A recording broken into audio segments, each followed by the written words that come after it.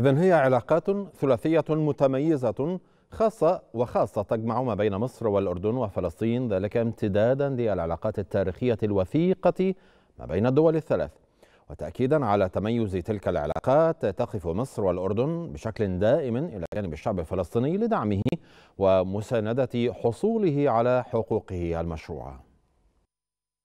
توافق في الرؤى والأهداف يميز العلاقات المصرية الأردنية كما يرتبط البلدان بروابط اقتصادية وثيقة وممتدة ساهمت في تنمية التعاون الثنائي والعربي والإقليمي حيث تضرب العلاقات بينهما بجذورها في التاريخ منذ القدم. ومنذ استقلال الأردن عام 1946 بدأت العلاقات الدبلوماسية بين البلدين وأصبحت الدولتان عضوين مؤثرين في جامعة الدول العربية والمنصات الدولية الأخرى ومن بينها حركة عدم الانحياز ومنظمة المؤتمر الإسلامي. التعاون بين مصر والأردن يتخذ أشكالا متنوعة ما بين الجوانب السياسية والاقتصادية وتكتسب العلاقات السياسية بين القاهرة وعمان أهمية خاصة نظرا للدور الإقليمي المهم الذي تلعبه الدولتان في مواجهة التحديات والأخطار التي تهدد المنطقة.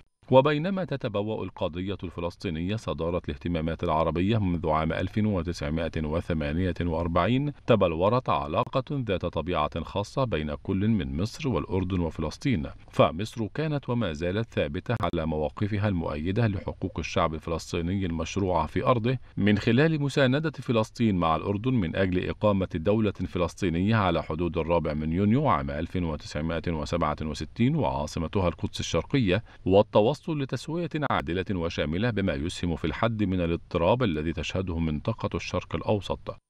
وبتنسيق حثيث ومتواصل مع فلسطين والأردن تلعب مصر دورا حيويا وبناء فيما يتعلق بالقضية الفلسطينية وملفات المصالحة. فضلا عن موثوقية القاهرة وباعتراف العالم في التوسط حال اندلاع أي اشتباك بين الفلسطينيين والإسرائيليين. وعلى الجانب الآخر تمارس المملكة الأردنية الهاشمية مسؤوليتها تجاه المقدسات في مدينة القدس انطلاقا من الوصايا الهاشمية التاريخية عليها استنادا إلى القانون الدولي وقرارات الشرعية الدولية وأبرزها القرار 181 الصادر عن الجمعية العامة للأمم المتحدة.